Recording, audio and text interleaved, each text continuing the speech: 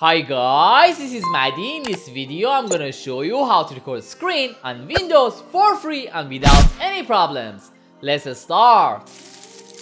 In the first step, we need to download the application. Open your browser. Then go to getsharex.com. After that, click on download. Go to your downloads and open the file. Then select Install Anyway. Choose I accept the agreement and click on Next. Select Next. Check all the options and select Next. And finally, click on Install. Select Finish.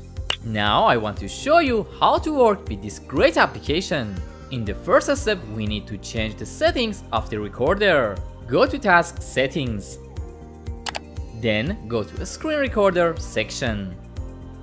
Put the screen recording FPS to 60. A higher FPS is associated with a smoother and more responsive recording experience. Then put GIF FPS to 30. After that, go to Screen Recording Options. For high quality recording, choose settings like mine.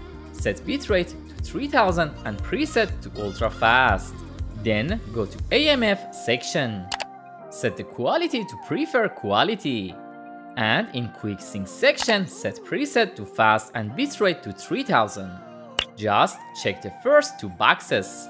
To start and stop screen recording, all you have to do is press Shift plus print screen button. But if you like, for example, do it with another button, go to hotkey settings.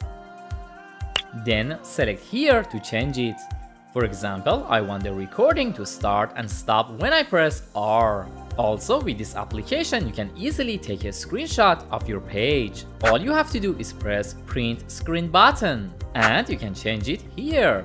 Now, after choosing the right settings, let's record. All I have to do is press R, then press left click.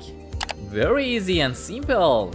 Whenever I want to start recording, I press the R button again. Now to access your file, open the application. After that, right click on your video.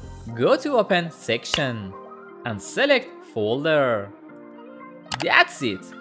ShareX is really one of the best applications in this field and all the parts are free to use. Thank you so much for watching this video. See you soon in the next video.